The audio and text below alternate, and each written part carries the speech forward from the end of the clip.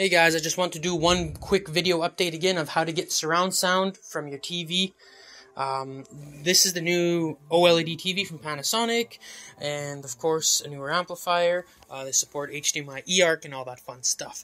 One thing I ran into with kind of like a newer TV and an older amplifier that doesn't have it is um, the E. Uh, when you want to watch like a USB, this is all off my USB here.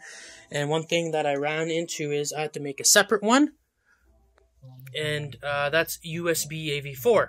And what that USB is, is my fiber optic cable in the back now. So here's my fiber optic cable, and there's HDMI. So the thing that people were having trouble with is was uh, with smart TVs and things like that. So when you go to smart TVs, you wouldn't get any sound. So example, just going to go to Netflix real quick here. Just going to resume playing this. The Spider-Man, of course. And I'm turning up the volume, and we don't have any sound. With a fiber optic cable. Okay? No sound at all. So what we do now is we go back to the good old Smart TV AV1.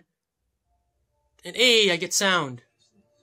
But with USB plugged in, uh, you won't get this from that from that HDMI put. So you have to put a fiber optic cable if you want to watch a USB. So if you have any movies and stuff like that that you have on a USB stick and this and that, if you don't have an amplifier that can support it, then you're pretty much you're back to square one, and you'll have to turn off the amp and just use the volume TV, which is what a lot of people struggle with as well. So um, yeah, so that's kind of an update. It's kind of confusing, I know. Um, so right now, in order for me to get USB sound, I have to go to USB because I have one, and I can go to my my devices now. Pin to home. Oh yeah, cool. Yeah, I'll pin that to home. I like it. Cool. Um, and then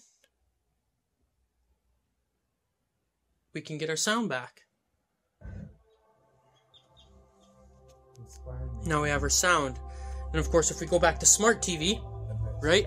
If we go back to smart TV, there's still sound, there's still sound. Uh, where's my remote? There we go.